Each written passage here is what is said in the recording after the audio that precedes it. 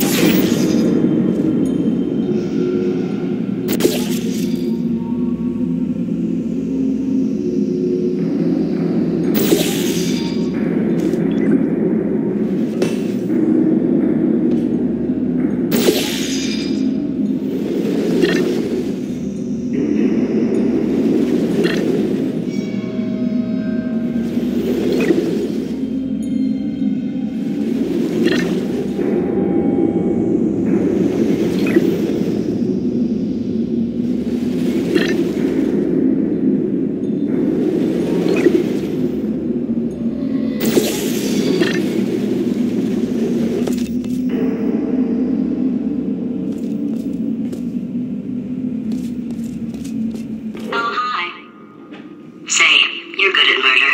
Could you, ow, murder this bird for me? Oh. Ow. Oh, thanks.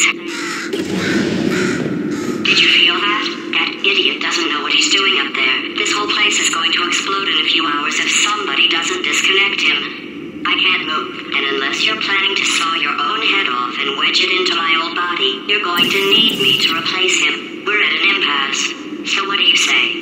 Carry me up to him and put me back into my body, and I stop us from blowing up and let you go. No tricks. This potato only generates 1.1 volts of electricity. I literally do not have the energy to lie to you. Even if I am lying, what do you have to lose? You're going to die either way. Look, I don't like this any more than you do. In fact, I like it less because I'm the one who got partially eaten.